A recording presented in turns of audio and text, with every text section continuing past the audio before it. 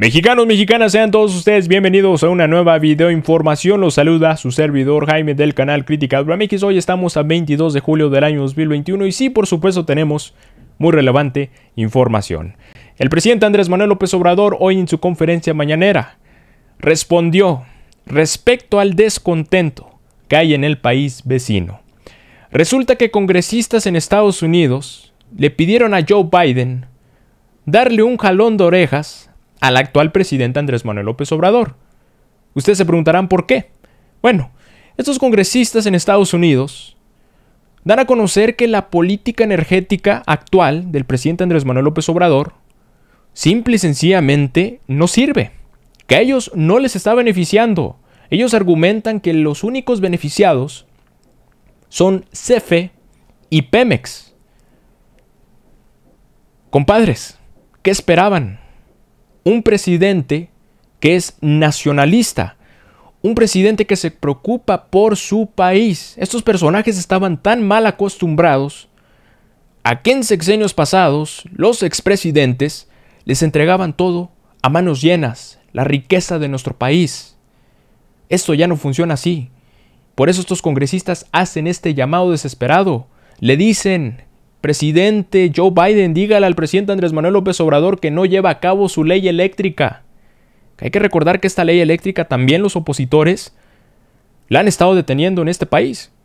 Bueno, también estos congresistas se atrevieron a decir que en nuestro país hay desconfianza, hay incertidumbre y que no hay inversión. Bueno, nada más les dejo el dato a estos congresistas en Estados Unidos que México entró en el top 10 como receptor de inversión extranjera. Datos del año 2021.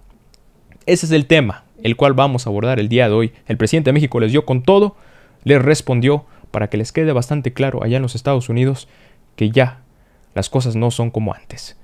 Como segundo tema, vamos a hablar sobre Miguel Ángel Osorio Chong, exsecretario de Gobernación en tiempos de Enrique Peña Nieto mexicano. Resulta que este pillo ya respondió sobre el reportaje internacional, sobre las investigaciones que está llevando la Fiscalía General de la República respecto al software israelí denominado Pegasus.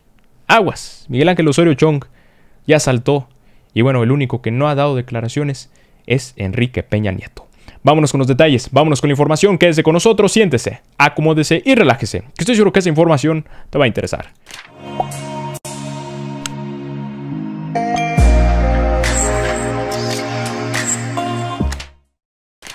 Vamos a arrancar con la información.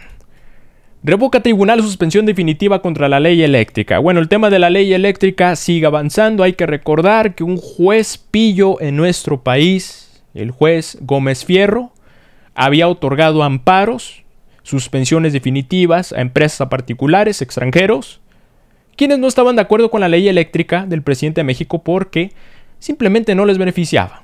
Ellos argumentaban esto. Entonces, hemos estado viendo que la cosa ha ido avanzando, porque estas suspensiones definitivas han sido revocadas. El primero de julio pasó esto. El 15 de julio del año 2021 otra vez se revoca una suspensión definitiva. O sea que pocas palabras, ya el presidente de México en este mes ha ganado dos rounds en este tema de la reforma eléctrica. Entonces, sigue avanzando este tema, sigue el gobierno, por supuesto, lidiando con esta situación de los amparos, y hay preocupación en el país vecino. ¿Qué dijeron los congresistas en estas últimas horas? Congresistas piden ayuda a Joe Biden sobre polémica política energética del presidente Andrés Manuel López Obrador. Vean lo que ellos argumentan y posteriormente vamos a ver la respuesta del presidente Andrés Manuel López Obrador que no se quedó callado mediante la política energética del presidente Andrés Manuel López Obrador, crea barreras comerciales para las empresas estadounidenses y va en contra del espíritu del tratado comercial entre México, Estados Unidos y Canadá, denunciaron este martes 20 congresistas de Estados Unidos, bueno, una minoría, 20 congresistas. Ellos dicen, en una carta anterior dirigida a la administración de Trump, porque también hay que recordar que estos congresistas, cuando todavía estaba Donald Trump en administración, también le hicieron este llamado. Bueno, Trump los mandó a volar porque dijeron, bueno, estos personajes qué. resaltamos las preocupaciones que teníamos con el presidente Andrés Manuel López Obrador, como el trato preferencial a las empresas energéticas nacionales, Petróleos Mexicanos, Pemex, y la Comisión Federal de Electricidad, así como la demora o cancelación de permisos para nuestras compañías de energía. Estos desafíos siguen siendo un grave problema, un problema grave, dicen ellos. Entonces ellos señalan que tanto CFE como Pemex van a ser los más beneficiados y que ellos los están dejando a un lado. No. Por supuesto que en medio de este tratado de libre comercio tiene que haber alguna negociación de por medio. Tiene que haber un beneficio para los tres países quienes están en medio de este tratado de libre comercio. Ahora, el presidente de México dice esto. Porque esos congresistas todavía, de que hacen este llamado a Joe Biden, de que dicen que no los están respetando con la política energética, ahora dicen que en México, pues es muy preocupante, no se pueden invertir. Dice el presidente de México, otro mensaje de AMLO a la Casa Blanca. Decir que hay desconfianza para invertir en México es politiquería. Fíjense, una respuesta de hace aproximadamente cuatro horas. Confirmando la rispidez entre el gobierno mexicano y la administración de Joe Biden, el presidente Andrés Manuel López Obrador cuestionó a quienes advierten sobre la desconfianza de los inversores en México. Apenas unas horas después de que el Departamento de los Estados Unidos dijera que la incertidumbre causada por las políticas de la 4T elevan el costo para hacer negocios. Fíjense. Entonces, aquí también tenemos más información sobre estos temas que hemos estado hablando. En dicho documento, el gobierno de Biden indica que los cambios regulatorios impulsados por la 4T, como por ejemplo sus políticas con respecto a la energía y la inestabilidad financiera de Pemex, creaban incertidumbre para hacer negocios. Pues ahí está, el presidente Andrés Manuel López Obrador, no se anden con politiquerías. Yo les presento el dato en pantalla. México entra al top 10 como receptor de inversión extranjera directa. Ocupamos el lugar 14, ahora ocupamos el lugar número 9. Ahora, se preguntan estos congresistas, ¿por qué tanta modificación en la política energética? Bueno, compadres, ven eso en pantalla. La Fiscalía General de la República ya está investigando a los operadores de Enrique Peña Nieto, Videgaray y Ricardo Anaya. Porque en medio de estas reformas estructurales que hizo Enrique Peña Nieto en aquel año 2013, Hubo una en particular, la reforma energética, que tanto nos dio una torre a millones de mexicanos, en la cual hubo sobornos de por medio. Y ahí está, se está investigando el caso. Siguen saliendo los nombres. Operadores importantes de Enrique Peña Nieto, quienes por sus manos pasaron millones en sobornos. Nada más Ricardo Anaya, 6.8 millones de pesos se llevó para que él aprobara la reforma energética. Todo fue negocio.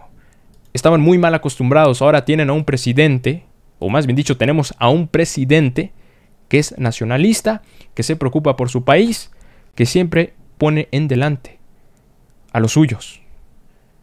Las cosas van cambiando. Ese fue el mensaje que lanzó hoy el presidente Andrés Manuel López Obrador, callándoles la boca a estos personajes. El segundo tema que quiero analizar con todos ustedes, Miguel Ángel Osorio Chong respondió. Osorio, ex subsecretario, se deslinda. No supo ni de Pegasus ni de espionaje, dice. Fíjense nada más. ¿Y saben qué dieron a conocer las redes sociales? Una entrevista de Miguel Ángel Osorio Chong en aquel año 2015. Se le entrevistó a Miguel Ángel Osorio Chong respecto al CISEN, que también este bueno, el CISEN también servía para realizar estas tareas de espionaje. Fíjense nada más. Esa fue la respuesta de Miguel Ángel Osorio Chong en aquel año 2015, tumbando por supuesto la declaración que él dio a conocer, que él no sabía nada del espionaje en su gobierno, él nunca se enteró. Vamos a ver. Procesos eh, que están judicializados, o sea, en el que se pueden intervenir llamadas, entonces sí, este, se puede, y que se pueda acreditar de esa manera, puede ser solamente por las instancias de gobierno eh, estamos viendo cómo, cómo lograr una eh, adecuación a la ley que solo permita a los gobiernos, como hoy está, pero que tenga que tener el aval la propia Secretaría de Gobernación, la propia Secretaría de la Defensa, para poder adquirir estos aparatos. No es tan complejo, desafortunadamente, y por supuesto que qué bueno que se hizo la denuncia ante la Procuraduría para que se investigue y se pueda sancionar localizando a quien haya hecho estas. Y ustedes saben que hay una larga fila y no es de ahora, sino mucho tiempo atrás. no es desde ahora, es desde hace mucho tiempo atrás. 2015, Miguel Ángel Osorio Young ya sabía lo que ocurría en cuestión del espionaje. Esas son sus palabras. ¿No se ha pronunciado Enrique Peña Nieto? No. Se ha pronunciado el PRI. Ya lo hemos analizado y esto lo analizamos el día de ayer. El PRI le da la espalda a Enrique Peña Nieto. Le dice, compadre, nosotros nos vamos a deslindar, nosotros no queremos estar más manchados de lo que ya estamos. Ahí te ves. Entonces, la tiene bastante complicada Enrique Peña Nieto, sí, por supuesto, mexicanos. Y sobre este tema Pegasus, quiero agregar como información final, periodistas, intelectuales que callaron durante años. Todo esto comenzó desde la administración de Felipe Calderón. Enrique Krause fue uno de estos intelectuales, entre comillas, que simple y sencillamente nunca dijeron nada. Se quedaron bien calladitos. ¿Dónde estaba Loret? ¿Dónde estaba Broso? ¿Dónde estaban aquellos reconocidos periodistas? Nunca sacaron este reportaje internacional de Pegasus, software israelí, donde investigaba, donde realizaba estas labores de espionaje Enrique Peña Nieto. Bueno, hoy viene a decir esta declaración, y perdóneme la palabra, una declaración estúpida de este rufián. ¿Cómo no extrañarla si le generaba 144 millones de pesos? Tunden a Krause por extrañar la dictadura perfecta. En una entrevista, Krause da a conocer que él, él extraña la dictadura perfecta. Fíjense, hasta cínico es este personaje. Pues cómo no extrañarla. Y les tengo los datos aquí en pantalla. Cuando con la administración del presidente Andrés Manuel López Obrador estás ganando cero. Con Enrique Peña Nieto ganó Enrique Krause aproximadamente 144 millones de pesos. O sea, pocas palabras, Enrique Peña Nieto le compró la conciencia a cientos, cientos de periodistas mercenarios. La verdad, qué desgracia, pero bueno, poco a poco se ha ido destapando la cloaca.